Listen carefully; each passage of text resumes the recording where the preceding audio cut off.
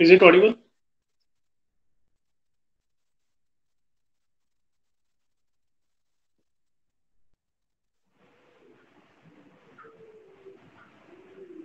Uh, those who are present, just uh, in the chat box, please write it as uh, present.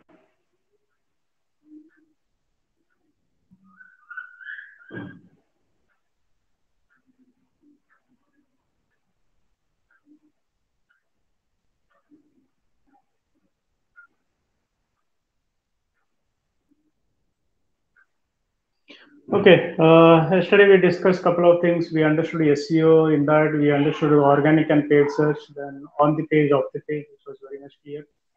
Then we understood key phrases, uh, then uh, links we understood. We discussed about backlinks, how it happens in the uh, digital platform. Then today we are going to understand something called as user insights. We'll be talking about that. Okay insights when i say the when i say the uh, layman's language we call uh, information what we say. That's what we call it as insights the capacity to gain an accurate and deep understanding of someone or something. When you go for the deep understanding in the corporate when you join you'll be getting very very familiarized with this term insights okay? The project insights then the brand insights if you're into branding those things. Someone will brief you about your manager will be telling you about this so that is something we'll be discussing later when you join about these terms. But now let's start this insights, uh, user insights, how how the person who comes up with a blog or something the SEO, what what insights he has to give to the customers. Okay, uh, if you are joining now, just a moment.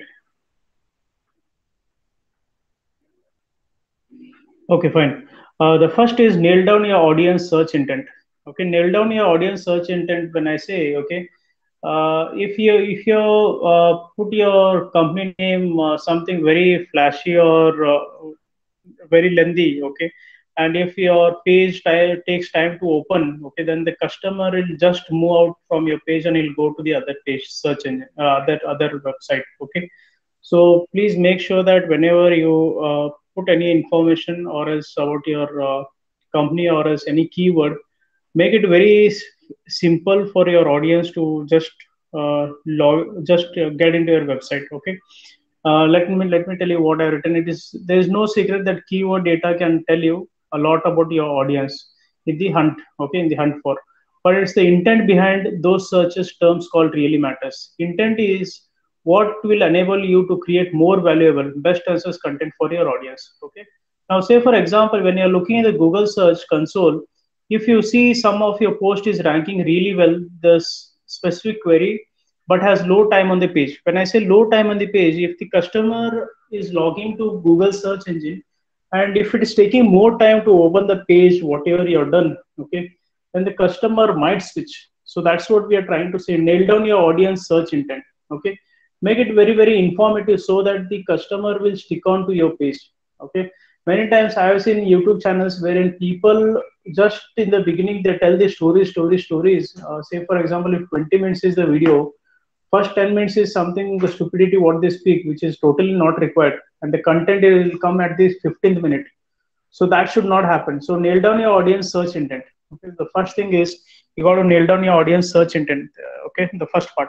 Then if if you're coming up with any blog students please understand you need to keep your customer busy and interesting. The content should be interesting. So nail down your audience for the search intent one. Then second is take advantage of older high performance content. Now say for example, if you uploaded any videos which is old enough and there are many likes or hits for this, okay, keep on updating some of the other things in that so that the customer comes or visits again and again to your page, be it a blog, be it a video on the YouTube or whatever you're doing, okay the older the content, there will be high performance. Okay, so that's what we say. You got to take the advantage of the older content. Uh, say, for example, if there are 10k views for your content, then just uh, refresh it or else ask someone to log into it and just check for it what is happening. So, because the older the content, you would be having the foundation really, really nice for it. So, take advantage of the older content. That's a high performance content, what we say. Okay, then third is low volume doesn't mean low value okay when i say low volume doesn't mean low value okay if if uh, the people are coming less to your page, okay, or to your uh, website, that doesn't mean you have a low value for it, okay. Maybe only few people are getting into it. So a common practice for the marketer is to search volume data to determine target keywords and new concept opportunities. So if there is low volume, you need to uh, say, for example, the thumbnails, what you put, okay, the front page, what you put. Many times in the YouTube, you can you might have seen the videos. The photo is something else, the picture, but the inside the video is something else. It happens, okay. So that doesn't matter to students. So low volume doesn't mean low value, okay. Uh, few people are coming to your page. Uh, that doesn't mean you have low value in the market, okay because search volume indicates the number of people searching for any given topic or the question okay? Now say for example if you're looking for niche market okay the person doesn't know to write it as niche market or as you might have spoken about marketing in between you might have spoken about niche marketing. That that's a fault from your end. When you created a blog okay you are not highlighted that. You have just written marketing but you didn't mention niche market. Okay now say for example if you're if you're discussed a case about cred the cred credit card system what we say uh, done by Shaha, okay, who was earlier uh, started Freecharge.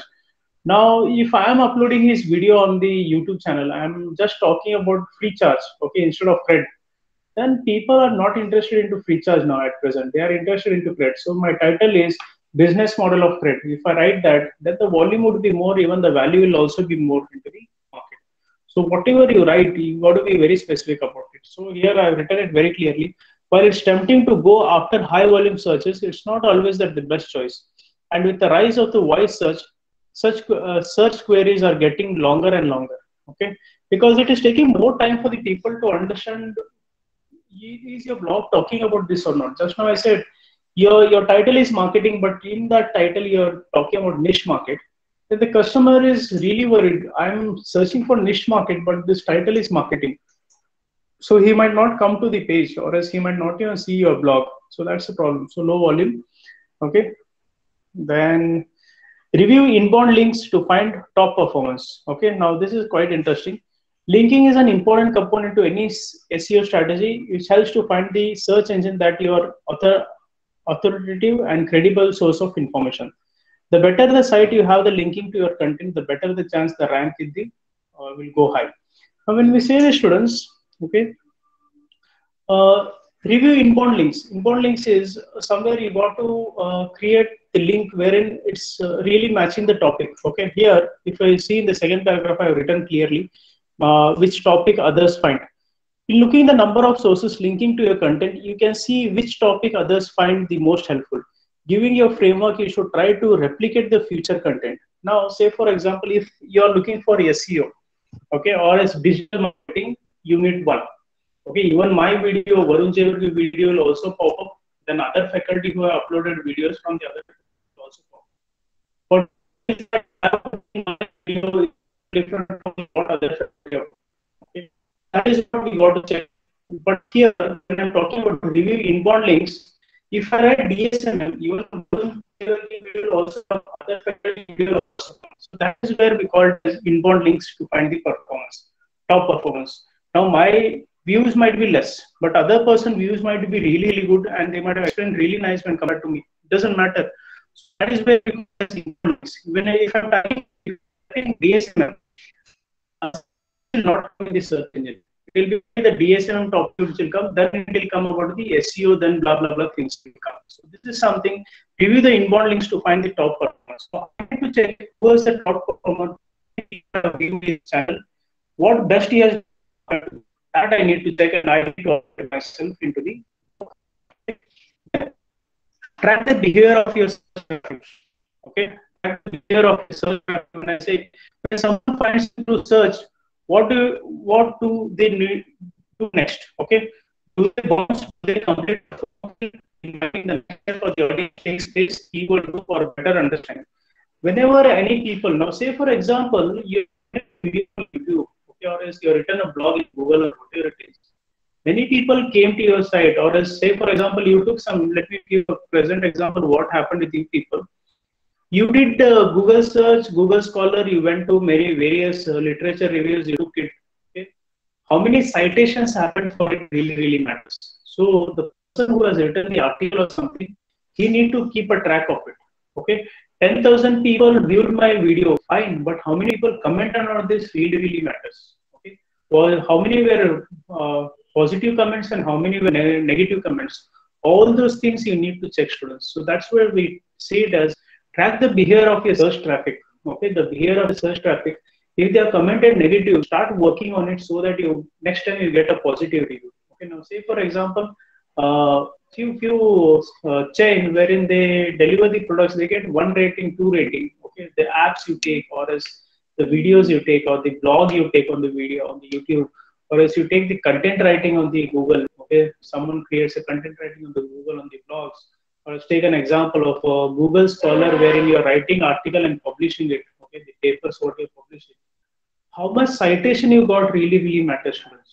Okay, how many people actually used your research paper? That really matters. So track your behavior of the search track That you need to check. So this is very very very important, students. So conversion rate optimization, what we say, CRO comes into play over here. Okay. Then uncover the new content opportunities with the site search within the site search. Okay. When I say when you're making any video or any blogs, if you're uh, doing, if someone isn't finding what they need to need in your site, they probably tried searching for it. This could mean that you have ripe content opportunity resting the underwrite on your nose. Many times, if you see, uh, today try doing this, students. Whenever you see any video on YouTube, okay, or else if you go to any Google uh, search, Google Scholar and check for the papers, okay, your title really really matters one uh, let's be very honest in this your title really matters and if you say for example if you have spoken about marketing and in the next video you want to speak about selling okay then what you need to do is you got to say that please refer my previous video and give the link on the top or else in the description that really helps so we call it as uncover the new content opportunities within the site search means you need to say that for my first video, you need to refer my video which I've previously put either on the top pop-up or else in the description, please mention that you can check my video, my previous video, then you can check this video. So that is where you're covering up everything. So uncover the new content. Okay. This is all about uh, user insight students. Any questions in this, please let me know. Quite a simple one. Okay. Uh, I thought YouTube example would be really nice so that you can relate it uh, very easily. Okay uh, take example of Google Scholar also, even that course code. If you actually checked some papers on Google Scholar for your project work, that you can easily relate it. How many of you did the uh, made use of Google Scholar for the literature review? Anyone? No. You made use of yes, sir. I did, sir. Yeah, yeah, yeah. So you might have seen many citations for the people uh, for the papers, right? There are numbers of yes, citations. I have seen. Yeah. Yeah, uh, you might have seen the uh, brand. If you have taken branding as your topic, then you might have seen n number of citations for the papers. Yeah. Yes, sir. That's the best thing. Yeah, that's the best thing what you see because their content is really nice, the data is good, and the topic what selected is easy to search. That's the best thing what you can relate to, Vishal. Yeah? So that is where we call it as insights, user insights. And those who are very much familiar with the YouTube as an example, then you can easily relate it. How you search in the YouTube, how you uh, get this low volume, high volume. Many times you see people saying Purana wala link pe, uh, description pe link diya gaya hai, blah blah blah. They tell, okay, check my first video, second video. Those, those things happen. Why they do this? Because of the insights what is happening in the digital platform. Okay. Yeah. Any questions in that? Just go through students. This will move to the next part. Benefits and challenges of SEO. Uh, this is quite simple. Uh, never touch upon benefits and challenges. Uh, just for your information. Uh, if you understand the concept, then benefits and challenges, uh, write it in your own words, students. Uh, just I'll run through one. It is free. Then localized traffic will be there. Mobile friendly, expert status, customer friendly. Those things. And straight I'll come to this content marketing. Maybe just to take a minute or so. Any questions in that? Just go through. Let's we'll start this. We'll start with content marketing, one of the important questions for the exam. Uh, mostly, so in the, the, previous module we discussed about this a bit. Okay, here we'll be understanding in detail now. Okay, and again I say in IMC you have a complete part of it wherein you'll be studying it. Okay, content marketing in IMC subject. Uh, Ravi sir has started it. Uh, Is in unit two or something? Two or three?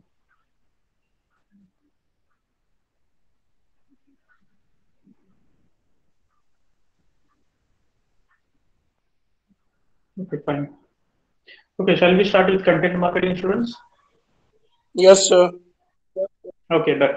Content marketing, uh, three marks question in your paper. What is content marketing? Content marketing is all about using the content to attract and retain visitors and eventually turn them into customers. Okay, the most people who use who use it know it's effective. Okay, so content plays a very very important role. What is that data you put really really matters. Now let's understand this meaning.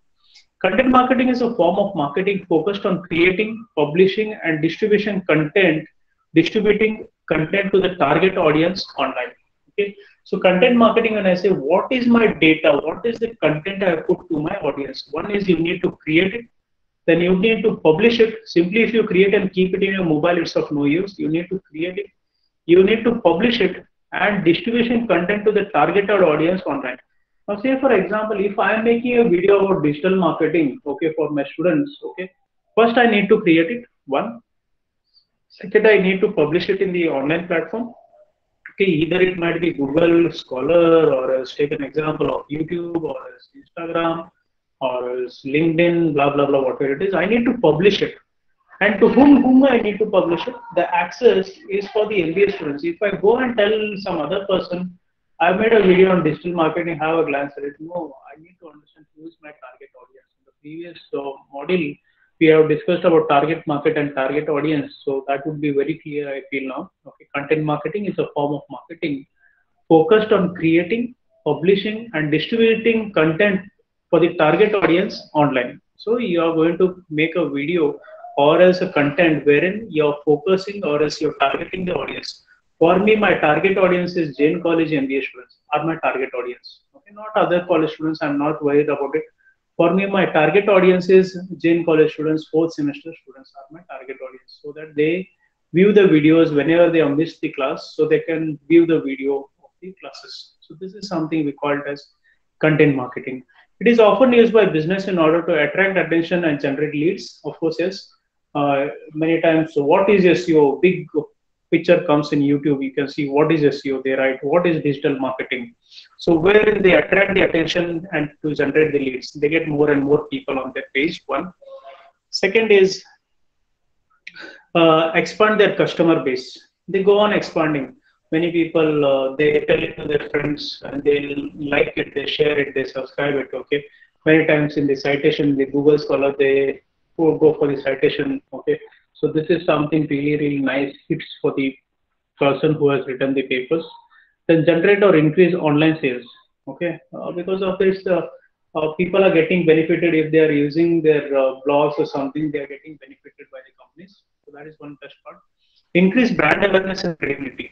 Okay, if if your company website is really good, okay, if it is doing really really brand awareness for people, okay, and increase the credibility as well for the. Then engage an online community for users. You can create an online community for the users. Okay, just general thing, students. Which there has published a YouTube videos around the extreme sports and activities like mountain bike, mountain biking. So you might have seen uh, Red Bull advertisements on YouTube rather than the televisions. Am I correct? I've seen the YouTube advertisement on, uh, sorry, uh, Red Bull advertisement on the television. Very less, okay.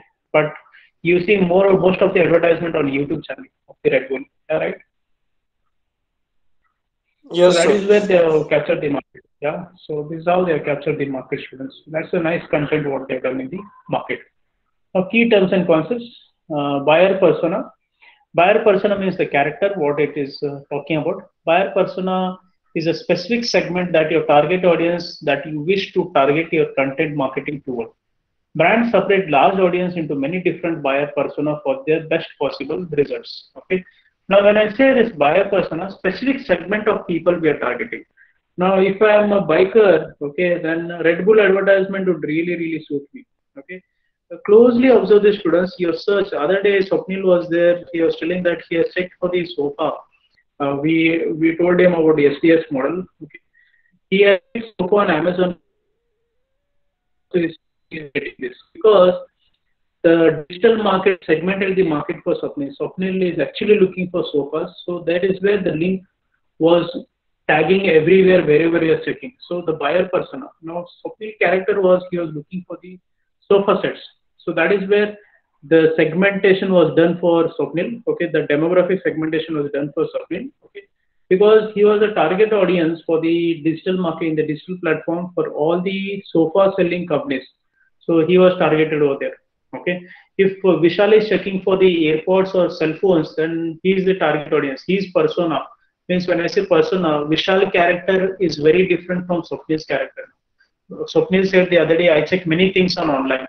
So every time whenever he's checking his latest search will be that. Okay, yesterday we, uh, you and me, we all searched cell phone under 10,000. When I logged into Amazon, I was getting the advertisement of cell phones under 10,000. Immediately I got this. The reason is quite simple because my latest, the recent search was about the cell phone. Yesterday I ordered a book, Product Launch 360 Degree. Today, when in the morning I logged into Amazon, related books of branding was available for me on my page.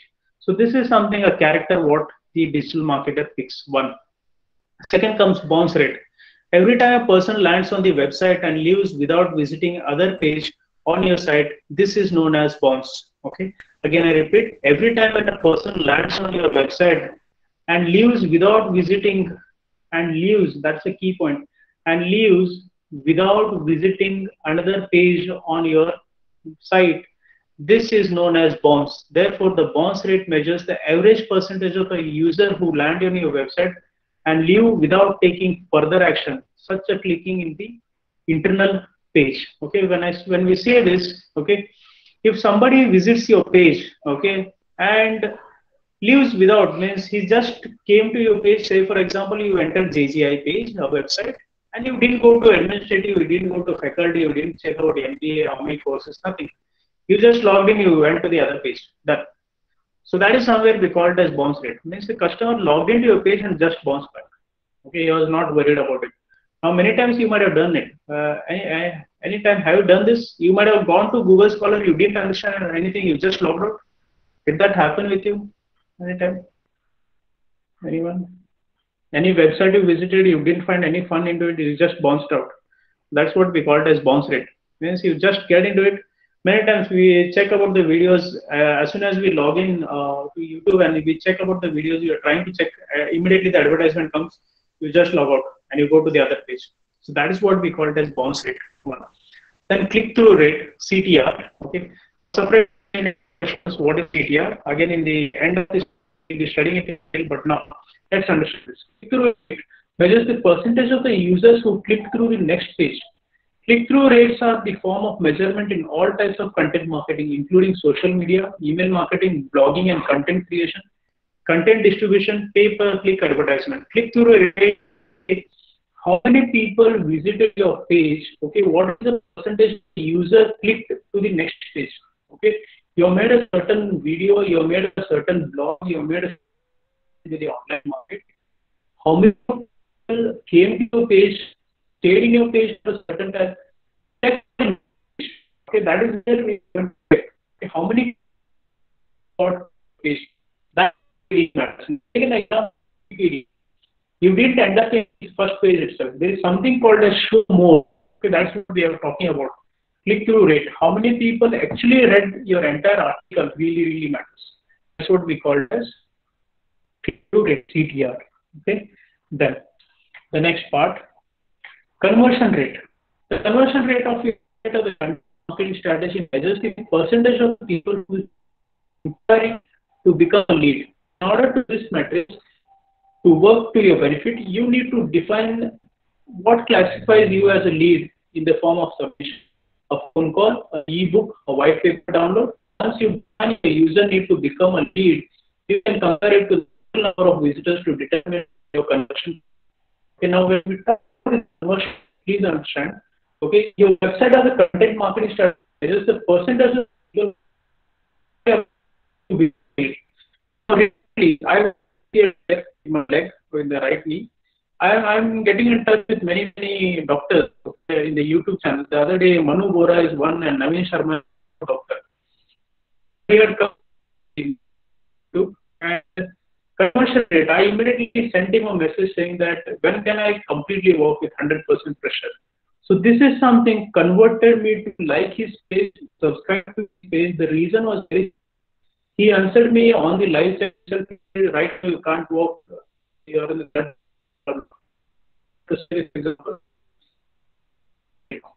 This is I, people going on uh, going response and I'm getting used to this page because I'll be getting something benefit out of it. Next time, whenever you see any video, you just type a comment saying that this video was good. Okay. And next time again you want to page. So for conversion. First per click. Again, we'll be studying this in later pages, but still let's understand.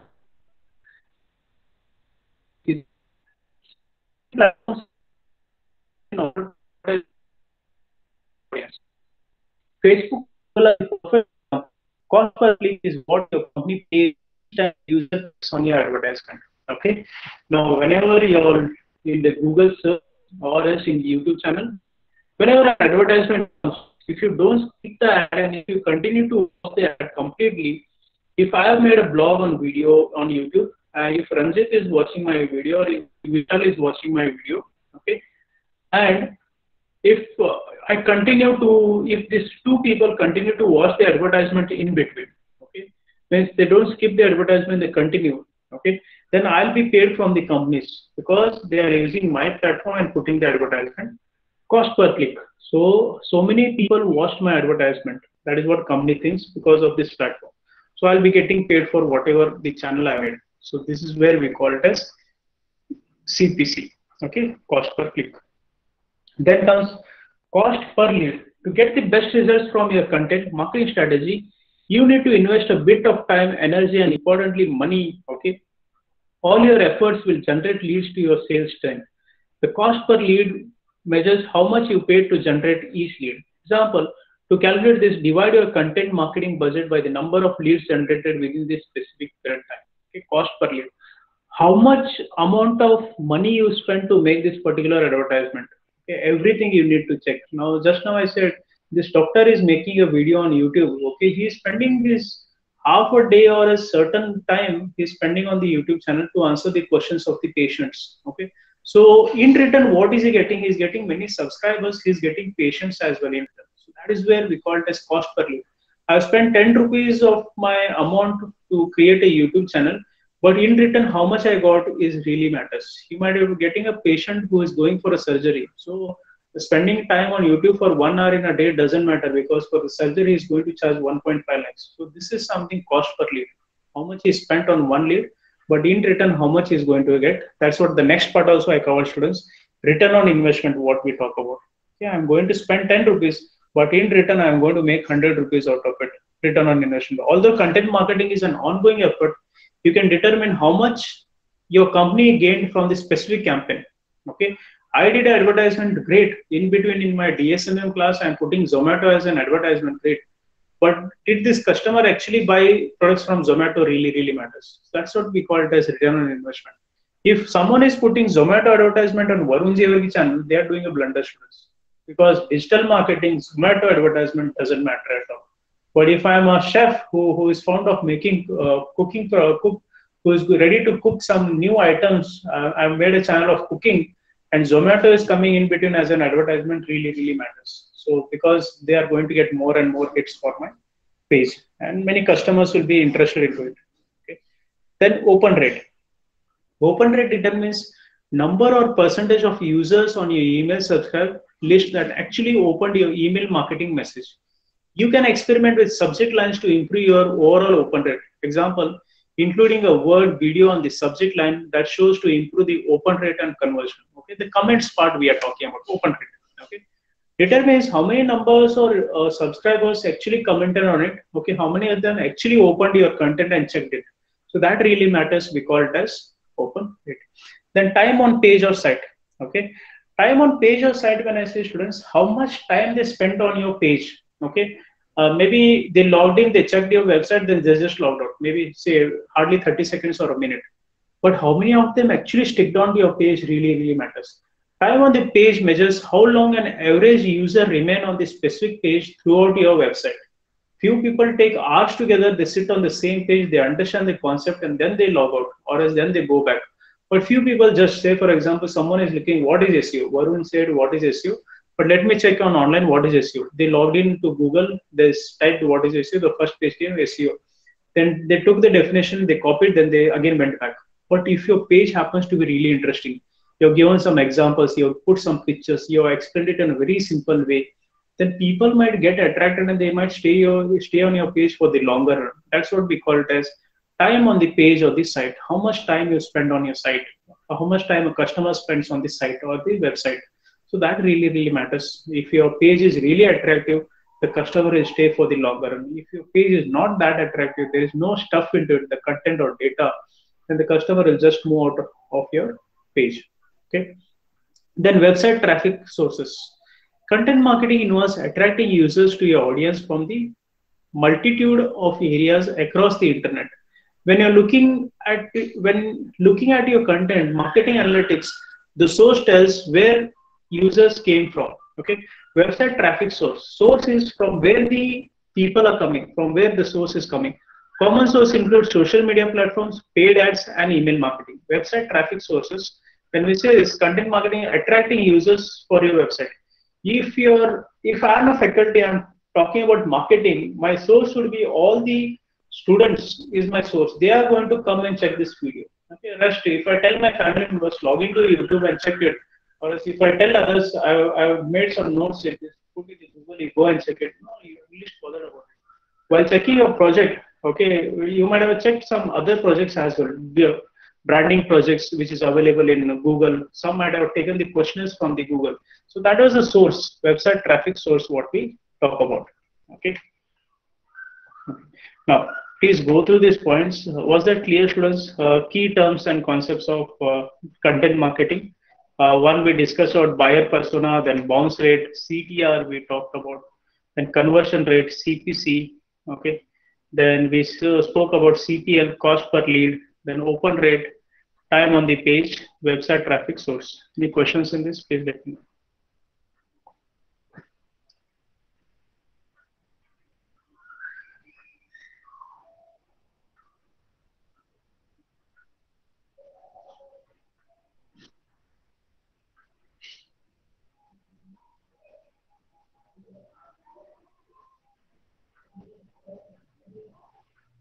Shall we move to the next part, strategic building blocks? Or should I stop here, do it in the next class? Yes, sir. We'll continue? So next class. Next class. Okay, okay, fine, fine. Okay, not an issue. We'll just go through these points, students, whatever we discussed today. Okay. And we'll start in the next class. Okay. Strategic building blocks, we'll do it in the next class. Same creative business case, quite a simple one. Define your persona. Okay, develop your brand story. Create your channel plan. Okay, fine. Fine, we'll do in the next class. Not a.